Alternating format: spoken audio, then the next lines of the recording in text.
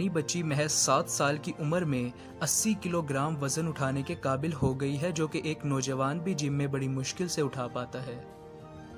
Rory की height इस वक्त चार फुट है और वो 80 किलोग्राम की डेड लिफ्टिंग कर सकती है।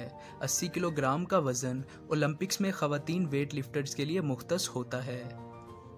80 किलोग्राम की डेड लिफ्टिंग के साथ साथ ये बच्ची इकसठ किलोग्राम के साथ स्क्वाट 42 किलोग्राम के साथ जर्क और 32 किलोग्राम के साथ स्नैच पोजीशन की एक्सरसाइज भी कर सकती है और वो अब ओलंपिक्स की तैयारी भी कर रही है।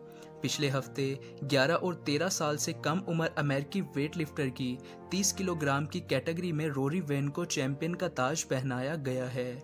इस बच्ची को अमेरिका की तारीख में कम उम्र तरीन यूथ नेशनल चैंपियन बनने का एजाज़ भी हासिल है, जबकि 11 साल से कम उम्र की कैटेगरी में वो बेहतरीन पौंड फॉर पौंड लिफ्टर